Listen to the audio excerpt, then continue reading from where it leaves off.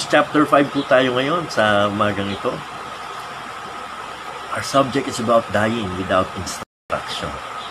Dying without instruction. Sabi po sa Proverbs chapter 5, verse 23, He shall die without instruction, and in the greatness of his folly he shall go astray. He shall die without instruction. So, like I said, this is about dying without instruction. Alam niyo po ba na ang Bible, kung natin ang kahulugan ng bawat letra in accordance with our subject. Sabi nila ang Bible daw ay basic instruction before leaving earth. B-I-B-L-E Basic instruction before leaving earth. So, alam na natin anong ibig sabihin ng ating subject na dying without instruction. Dying without the Bible. According to this verse, the undisciplined person, the one who turns away from instruction, is subject to death as an eventual result. You see, unrestrained sinning endangers the body and soul. It inflicts damage on the person who indulges in a wicked lifestyle. This torment is physical, mental, and spiritual. Discipline keeps a person's well-being strong and healthy. But fools lack discipline and therefore greatly increase the risk of fatalities or eventually death itself. Kaya napakamahalaga po na tayo ay may disiplina. Sabi nga po dati nung panahon ng martial law, sa ikaunlad ng bayan, disiplina ang kailangan. Sa ikalalago po natin sa ating spiritual na buhay, disiplina ang kailangan. Sa ikaliligtas ng bawat tao. Kailangan nilang matuto sa salita ng Diyos at makilala si Kristo Jesus. At tanggapin nila ang sinasabi ng Diyos sa kanyang salita. Solomon points out here that a lack of instruction is a choice to live without the danger of being facing death unprepared. You see, it is the greatness of one's folly when he go astray. The word astray in this verse is from the same Hebrew word for captivated. Foolishness captivates people leading them to do whatever their sinful desires dictate. Para po tayong inaalipin ng ating mga makasalanang pagnanasa.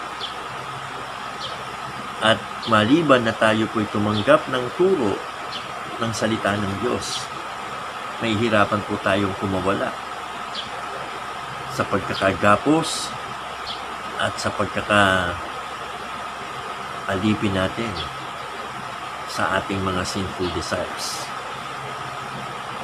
By pursuing to ignore instruction from the Word of God, men would wander away from God and may never find the way back.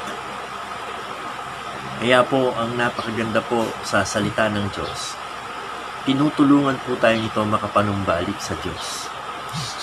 Yung daan na kung saan tayo ay nali, pwede tayong manumbalik sa pamamagitan po ng instruction from the Word of God. Kaya nga po sabi, all scripture is given by inspiration is profitable for doctrine, for reproof, for correction, for instruction, that the man of God may be perfect or complete, thoroughly furnished unto all good works. Paano makukumpleto ang isang tao, ang buhay niya, paano makukumpleto without the Word of God? At kung hindi mo alam ang patutunguhan ng iyong kaluluwa kapag ka ikaw ay mamamatay, may kulang sa iyo. Maring you have all the riches of the world, maring you are successful in your career, maring uh, you are living a happy family life, pero kung mamamatay ka at hindi mo alam saan pupunta ang iyong kaluluwa, may kulang pa rin sa iyo. At yan ang katiyakan sa kaligtasan.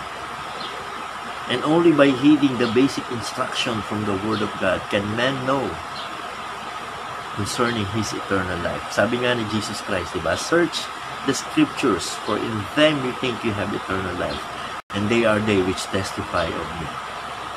All of us are born in a state of ignorance and darkness as to spiritual things. Lahat po tayo, ano po tayo eh, wala tayong alam. At tayo ay nangangapa sa kadiliman pagdating sa mga spiritual na bagay. Kaya nga tama lamang pag tinatanong natin yung mga unsaved, saan pupuntang yung kaluluwa pag kayo namatay, ang sagot nila, walang nakakaalam yan. Tama, walang nakakaalam. Sa mga taong nasa kadiliman. Pero sa pamamagitan ng liwanag ng salita ng Diyos, pwede nating maalaman. At, and now we are enjoying that knowledge. If you are in Christ, you know for sure that when you die today, you will go to heaven because we heeded the instruction from the Word of God. Therefore, all of us should carefully consider the instruction from the Word of God. All of us need the Bible daily to sustain us with our spiritual growth. Hearing the Word of God is God's outed means to bring men to the saving knowledge of Himself and lead them to their spiritual growth and fulfillment. Hindi po natin pwedeng ihiwalay ang salita ng Diyos sa ating buhay. Hindi lamang para tayo'y maligtas at makatiyak ng ating patutunguhan sa langit at hindi sa impyerno, kundi upang sa buhay na ito sa lupa, matutunan natin paanong habang tayo ay naglalakbay at patungo sa langit, ma-enjoy natin ang biyahe. The neglect of simple instruction from the Word of God is the ruin of many a person both in spiritual and physical life. Yan ang dalawang mundong ginagalawan natin eh. Yung physical at yung spiritual. At sa parehong mundong ito, kailangan natin ng instruction from the Word. People who live viciously die desperately. They pass from the error, errors and works of darkness to the place of utter and eternal darkness. They die without instruction and go astray and perish in the greatness of their folly, without God and without hope. Yan ang buhay ng mga taong walang kaalam-alam sa salita ng Diyos. Kaya, importante mga kapatid sa Panginoon na as much as we can, as we have therefore opportunity, sabi ni Apostle Paul, as we have therefore opportunity, let us tell them about Jesus Christ. Let us speak the Word of God.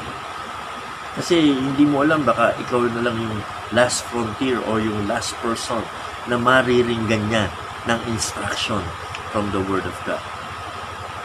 Consider the following. A man can act no better than his principle dictate to him. Importante yan. In maintindihan. Magpas ang isang tao sa nalalaman niyang prinsipyo. Kaya importanteng matuto siya ng prinsipyo ng salita ng Diyos kahit anong sabihin mo magbago ka na, kahit anong sabihin mo umayos ka na, that person cannot change. Because he cannot act no better than his principles dictate to him. But with the Word of God being fed to our soul, with the Word of God being used to lead us in the right way as we have discussed yesterday, nagkakaroon po tayo ng direction sa buhay. Nababago yung ating mga sitwasyon. Natatama yung ating mga disposisyon. Pangalawa, for want of being grounded in the Bible doctrines, people are easily led into errors of heresy. Kung hindi tayo ang magtuturo sa mga mahal natin sa buhay o sa mga kaibigan natin ng salita ng Diyos kung paano tayo rin naman ay naturuan, eh, may ibang magtuturo dyan. At ay ang mga heresy, yung mga errors ng mga religions. And that is why, nakakalungkot, ano? From one religion to another, ang isang tao nako-convert from error to error. Blind leading the blind. Hindi po sila natutuwid at natatama. Sapagkat ang naituro sa kanila ay ang lumipat lamang ng relihiyon at ang magpalit lamang ng paniniwala. Pero hindi naituro sa kanila ang pagka-Diyos ni Kristo at ang kanyang pagiging isang tunay at tanging tagapagligtas. Kaya mapalad ka kung ikaw alam mo, kaluluwa. Mapalad ka kung ikaw tiyak mo sa langit ka pupunta. May nagmalasakit sa iyo, may nagturo sa iyo, may nagbigay sa iyo ng instruction. Meron tayong pinamimigay na gospel tracts, di ba? Naalala niyo yung four simple plan of salvation. That's basic instruction before leaving earth. Paano mo matitiyak ang pagpunta sa langit? So let us not neglect our duty, Christian, to do the same. To hand out a tract, to reach out to a soul. Yun lang magbigay kayo ng gospel tract, malaking bagay na. So that people will not die without instruction. And maaaring hindi mo alam, yung mabigyan mo ng gospel tract, backslider pala. At baka pagka nabigyan mo, ma, alam mo yun, mabagbag ang damdamin. At maalala niya, kasi pala ay isang ligtas. At siya magbalik loob sa Panginoon. So, let us be grounded in the Word of God. And let us help others to be grounded also. I- i-proliferate po natin. Alam niyo yung yung mga yung mga maling ano, yung mga lefties at yung mga iba pang mga ideologies, di ba? Oh. Ang, ang galing nila magpakalat ng doktrina nila, ang galing ng kanilang mga instruction sa kanilang paniniwala. Tayo mga Kristiyano, kulelat eh. Kasi, oh, may Facebook, may social media, may Instagram, at kung ano-ano pa. Pero ano natin, kung ano-ano lang rin. Instead na gamitin natin itong mga avenues na ito to proliferate basic instruction from the Word of God. Basic lang.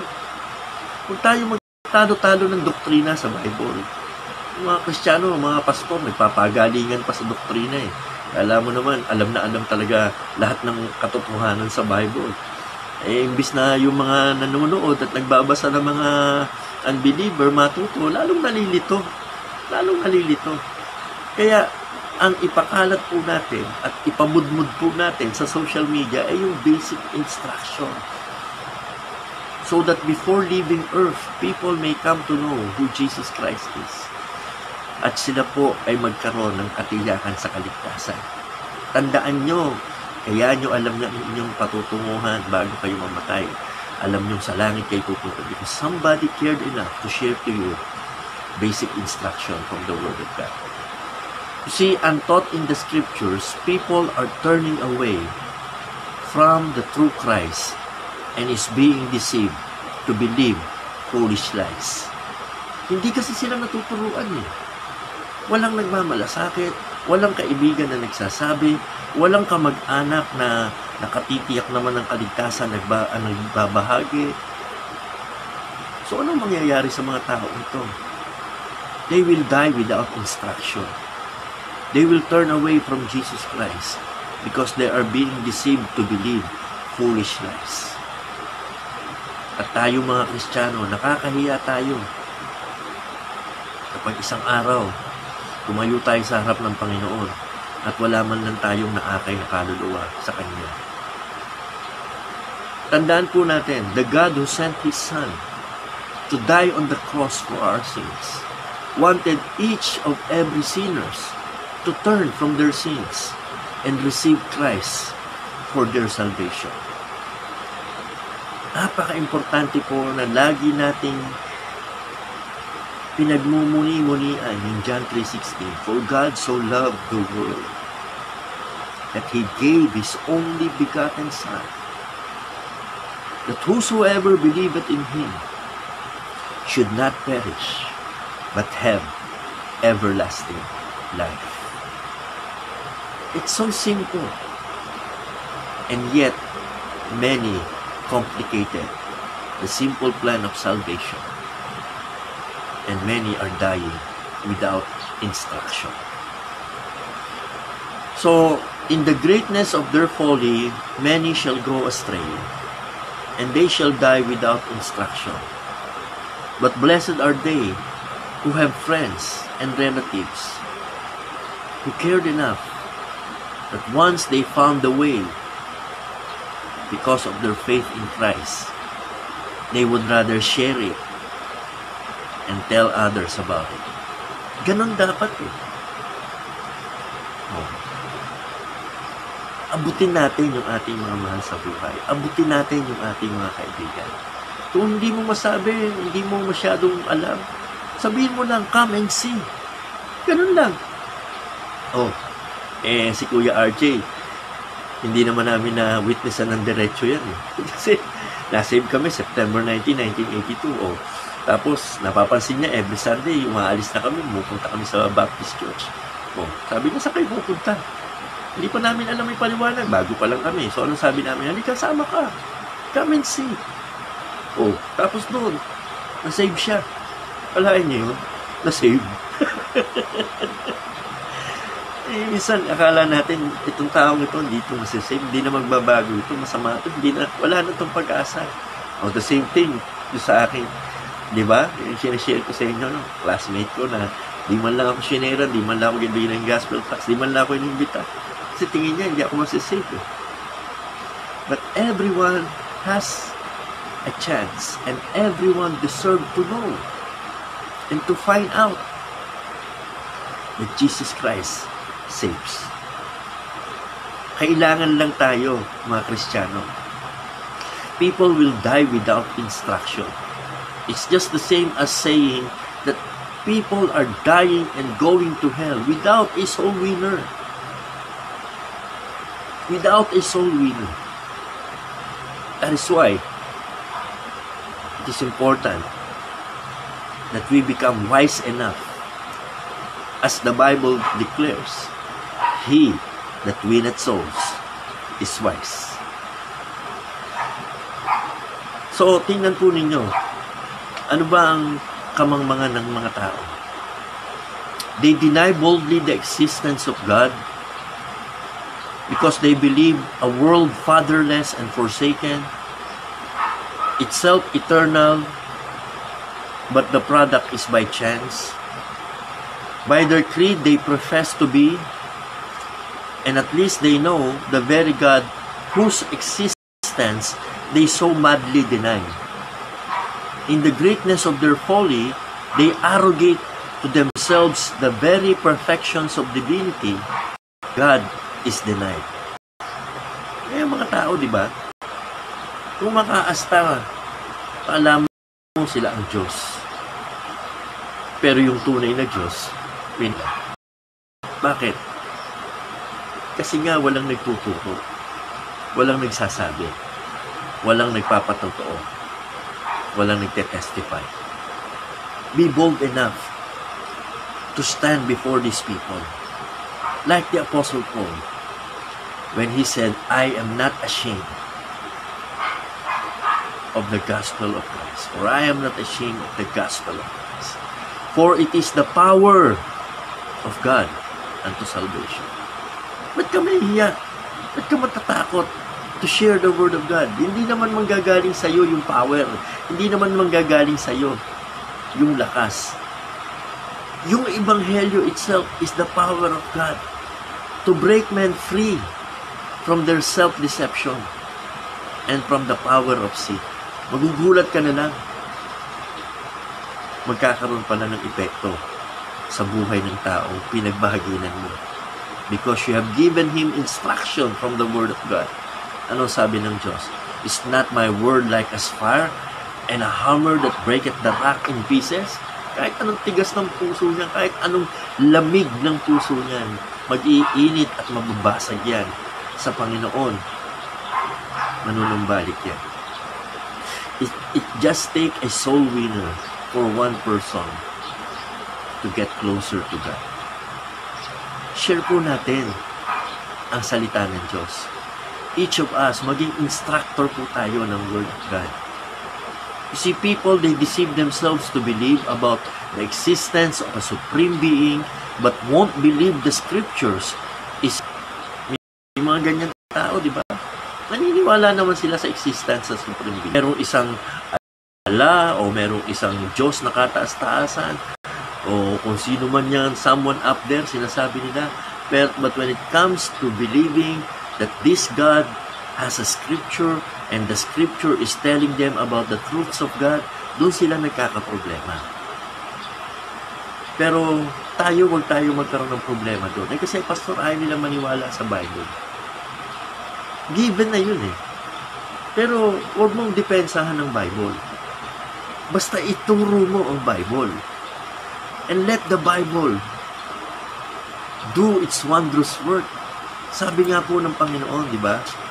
Sa Hebrews, the Word of God is quick and powerful. Alam mo ba yung quick?